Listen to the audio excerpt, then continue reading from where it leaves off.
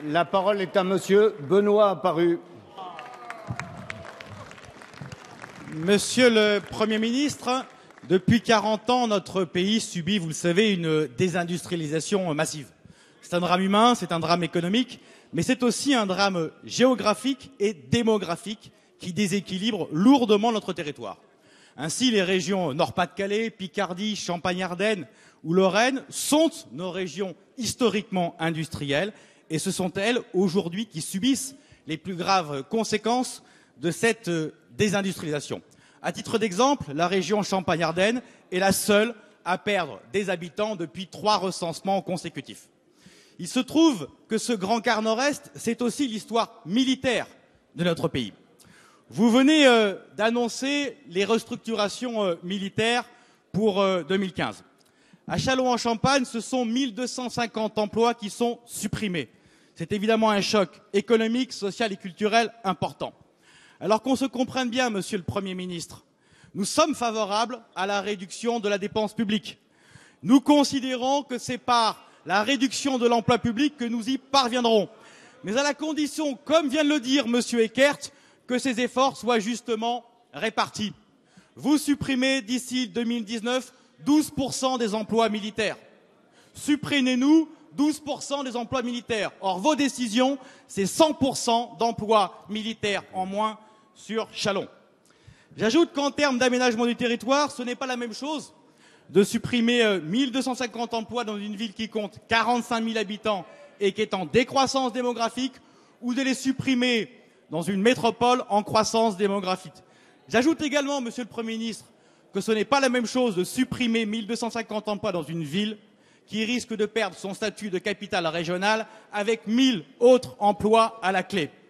Monsieur le Premier ministre, les élus de droite comme de gauche, les forces économiques et sociales de cette région vous demandent une seule chose. Merci. Une politique d'aménagement. La parole est à monsieur Jean-Yves Le Drian, ministre de la Défense. Monsieur le, le, Président, Mesdames et Messieurs les députés, Monsieur le ministre, Monsieur le député Benoît Apparu, vous avez rappelé que, il y a quelques jours, j'ai signé l'ensemble du projet de restructuration de défense pour 2015 en application stricte de la loi de programmation militaire. Conformément à, à mes engagements devant l'Assemblée, j'ai veillé à ce que ces déflations touchent le moins possible les unités opérationnelles et l'essentiel porte sur les structures organiques, sur l'environnement, sur l'administration du ministère. J'ai veillé aussi, et vous le savez, à ce qu'il y ait le moins de garnisons dissoutes possible.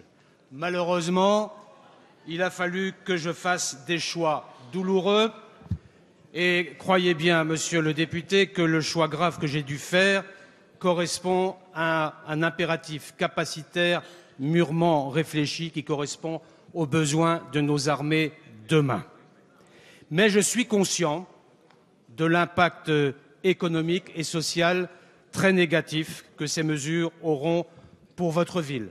Nous avons eu l'occasion de nous entretenir récemment à ce sujet et j'ai évoqué devant le Premier ministre vos lourdes et légitimes préoccupations pour que la ville de Châlons ne soit pas plusieurs fois pénalisée.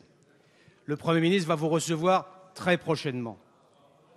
Il, il, il m'a demandé de mettre en place, avec l'ensemble des ministères concernés, un plan exemplaire pour permettre à, la ville de Châlons de compenser autant que faire se peut la décision que j'ai dû prendre.